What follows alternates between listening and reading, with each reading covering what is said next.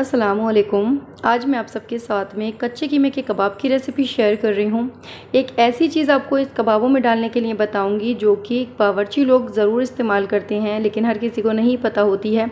और सबसे अच्छी बात यह होती है कि वो जो चीज़ है, जो मसाला है ना, वो हमारे किचन में अवेलेबल होता है, हर किसी के घर में होता है।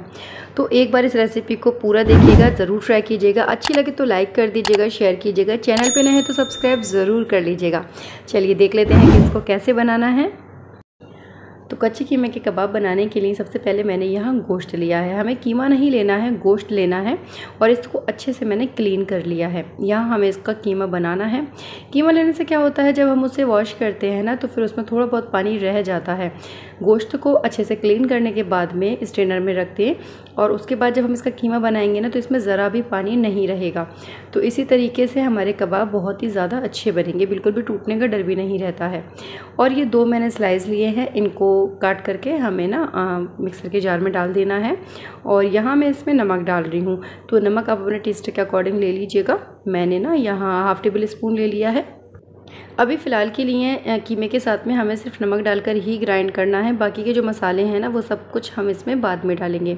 तो अभी हमें इसे ग्राइंड कर लेना है और बहुत ही बारीक ग्राइंड करना है, जितना ज़्यादा आपसे बारीक कीमा हो सके, उतना बारीक आप इसको पीस लीजिएगा मिक्सी में। ये देखिए कितना अच्छे से ग्राइंड हो चुका है और ज़रा भी पानी नहीं है देख लग ही नहीं रहा है कि ये कीमा मैंने बनाया है बोटियों का। इसे हमें किसी भी एक बड़े बर्तन में ट्रांसफ़र कर लेना है और यहाँ डालना है हमें इसमें दही। तो दही में भी ध्यान रखना है, पानी नहीं होना चाहिए और दो टेबल स्पून डाल देना है। दही डालने से कबाब में बहुत ही ज़्यादा जूसी हो जाते हैं, बहुत सॉफ्ट हो जाते हैं। और अब यहाँ चौथाई टेबल स्पून हल्दी डाल दी है। हल्दी से कलर बहुत अच्छा आएगा कबाबों का। आधा टेबल स्पून है धनिया का पाउडर तो ये हम इसमें डाल देंगे। और ये मैं गरम मसाला डाल रही हूँ, चौथाई टेबल स्पून डाल दीजिएगा।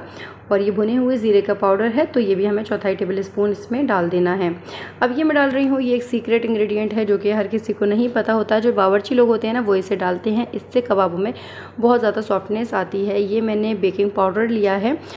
ये आपको ना चौथाई टीस्पून डालना है। बिल्कुल थोड़ा सा डालेंगे, बहुत ही ज़्यादा सॉफ्ट और जूसी कबाब बनेंगे।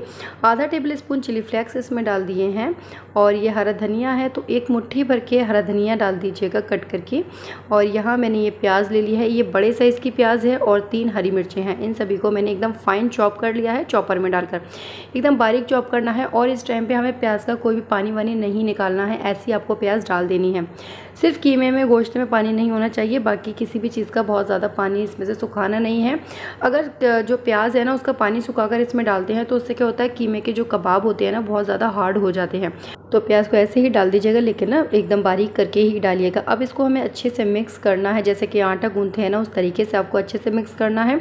और करीब चार पाँच मिनट तक अच्छे से इसको मिक्स कर लीजिएगा। उसके बाद में हाथों पे पानी लगा लीजिएगा या फिर ऑयल लगा लीजिएगा। मैंने यहाँ हाथों पे पानी लगाकर बिल्कुल कीमे का थोड़ा सा हमें पोर्शन लेना है और फिर ना इस तरीके से गोल कर कर हमें इसका कबाबों का शेप दे देना है। बहुत ही आसानी से कबाबों का शेप आ जाएगा और ये कबाब बिल्कुल भी फ़िक्र नहीं करनी है, ज़रा भी नहीं टूटेंगे। अब हमें सभी कबाब इसी तरीके से बनाकर तैयार कर लेने हैं।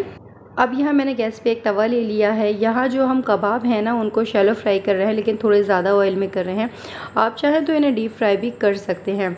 अब ये जो कबाब हैं एक एक करके हमें सभी कबाबों को ना इस पर अरेंज करने हैं। जितने कबाब एक बार में आ जाएँ, उतने फ्राई कर लीजिएगा।